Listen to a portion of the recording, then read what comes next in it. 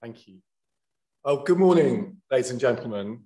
On behalf of the President and Fellows, it's my great pleasure to welcome you to the Society of Antiquaries of London. Uh, my name is John Cooper, and I'm the uh, Director of Research and Publications here. There we go. Um, the Director of the Society of Antiquaries uh, sounds like a very grand title. Uh, it's not quite the top job, for which at the moment I'm profoundly grateful. Um, I'm a Tudor historian. Um, a number of you in this room and online know me already. Um, in fact, so many of you know me that this feels a little bit like my retirement party or possibly my wake about 15 years early. The Society of Antiquaries is the senior scholarly society devoted to the study of the material remains of the past. We were founded in 1707, probably in a pub. We are now a fellowship of some 3,000 across the world. We have a royal charter.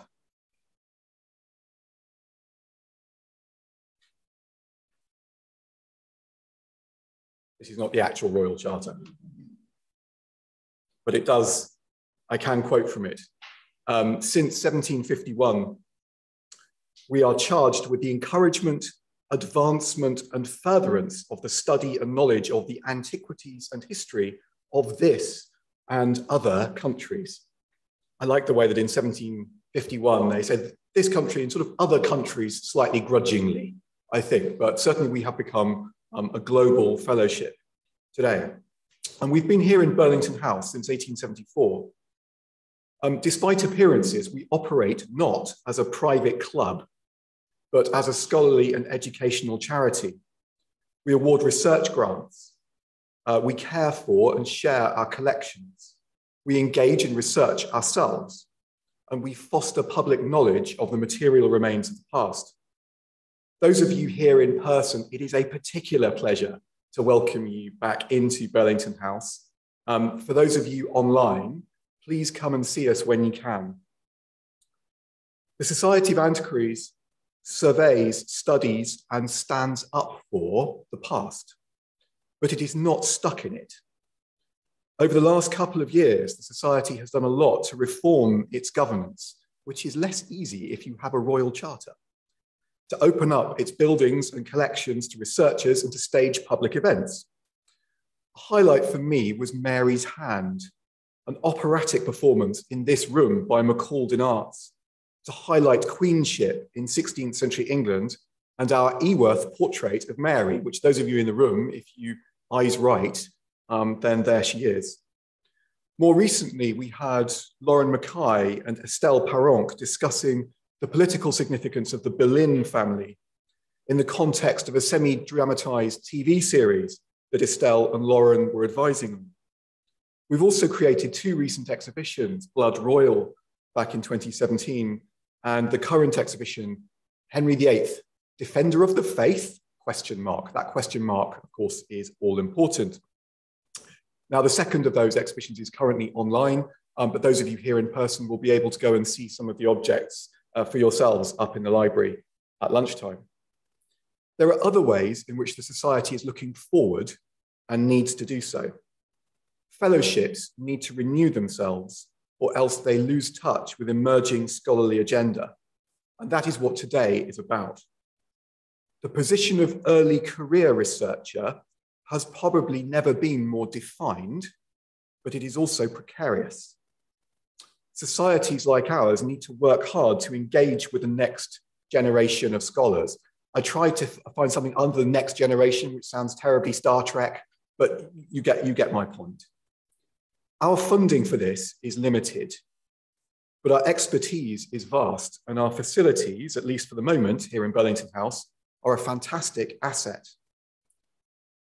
To those of you here in person and those watching online, I would say please engage with us. Find out about our collections. Let us help you make scholarly connections. The average age of elected fellows has crept up over the years, we want to check and indeed reverse that process. Um, the fellows of the future are likely to look like you, uh, may indeed be you. In my opinion, the antiquaries are uniquely placed to foster new strategies of studying and defending the cultural value of the past, whilst also having the novelty to question, sorry, having the independence to question novelty for novelty's sake. We do not have to be modish here, but we are diverse and increasingly so. We do not have to reject what's old simply because it's old. Now, to give you one example of that slightly obscure statement, the work that I've been doing on St. Stephen's Chapel in the Palace of Westminster, and that Murray Tremellan here in the front row and Kirsty Wright, who can't be with us today, have been carrying forward, that work can be traced back to the work of intrepid antiquaries in the 1790s um, who were practically fighting their way into the Palace of Westminster to crawl behind wooden paneling to record medieval wall paintings um, before they were um, torn apart um, by the reforming architect uh, James Wyatt um, and then destroyed in the Great Fire of the Palace of Westminster in 1834. I really feel that sense of deep descent from the past, from those antiquaries of the 1790s. And the work that Murray and I are doing is absolutely dependent um, on those, on that uh, strong bedrock of antiquarian scholarship of the past. Now, for this early career conference, the um, organizers um, here on the front row, Laura, Jen, and Murray, have chosen the theme of the experience of politics and political culture. When I was studying for my doctorate, I wasn't terribly sure what political culture meant. In fact, I barely heard the phrase until the late Kevin Sharpe introduced me to someone else at a dinner. This is John Cooper. He works on Tudor political culture. I thought, do I? Maybe I do. That sounds quite classy. Um, and I stole that description and I've used it um, ever since. I work on Tudor political culture. And so I used it as the subtitle for my first book, but it was sort of attributed to me before I really understood um, what it means. So, what does political culture mean? Well, today, collectively, you are going to help to define that, I think. You could find definitions in works of political science, for sure. The term comes in from political science. Maybe you could find definitions in history books or at least, since historians are often rather shy of defining these things, you will find competing understandings in the history books that you're reading about what political culture means. But to hazard my own definition, which I confess was completed on the number 38 from the Essex Road this morning, perhaps the very last time I complete my prep on the bus on the way to school, I would say that for British historians at least, Political culture is a term that, one, has extended conventional definitions of high or parliamentary or court politics to constituencies classically outside the sphere of formal governance. The common people, whatever we call those in the early modern period, women, excluded communities of all kinds, Catholics, Jews, people of colour. Historians have done very valuable work in recovering the political culture of those groups. Secondly, political culture has decentered politics to encompass the regional and the local, both in their own right, because they're important, and for their interactions with the political centre. And that's what actually I was doing in my doctorate a very long time ago.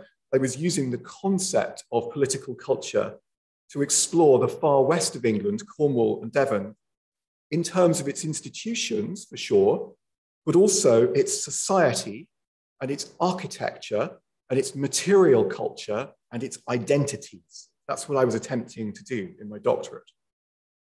Now, looking at the whole of the British Isles, the relationship between England and Ireland seems particularly open to this kind of political cultural approach to bring together the sometimes overtly national and at their edges, even nationalistic historiographies of those two territories.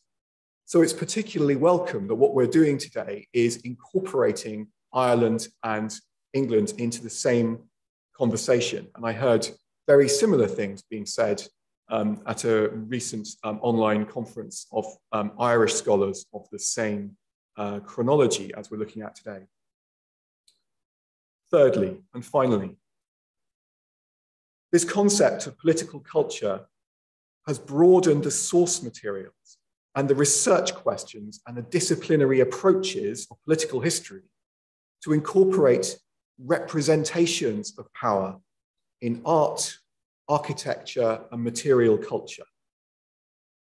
Now, that's the kind of political culture that the historian Kevin Sharpe did so much to open up um, for my period of early modern England um, and attributed to me rather prematurely at this dinner that we were at. Now, this strand of political culture has involved a dialogue between history and adjacent disciplines. I call it a dialogue. Actually, at times, I think it's more of a raiding party conducted by historians on other disciplines. But those disciplines clearly include um, English literature.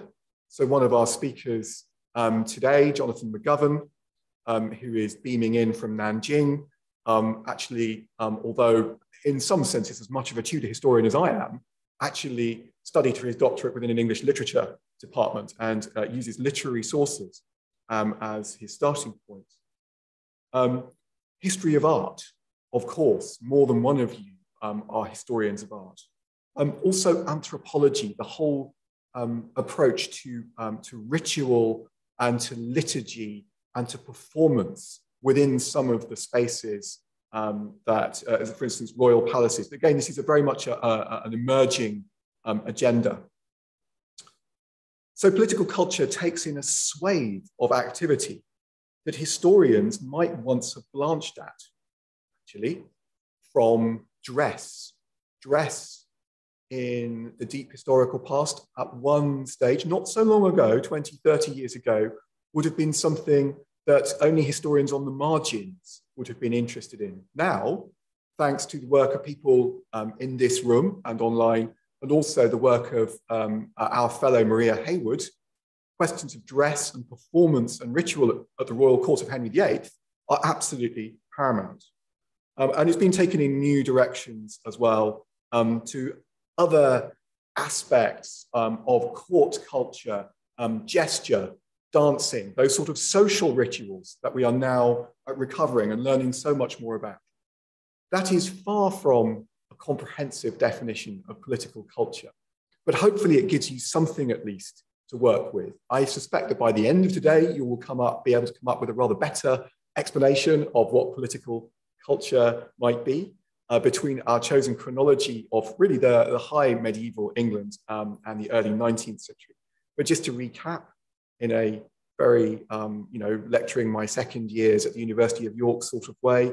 Political culture has extended, it has decentered, and it has broadened our definitions of history.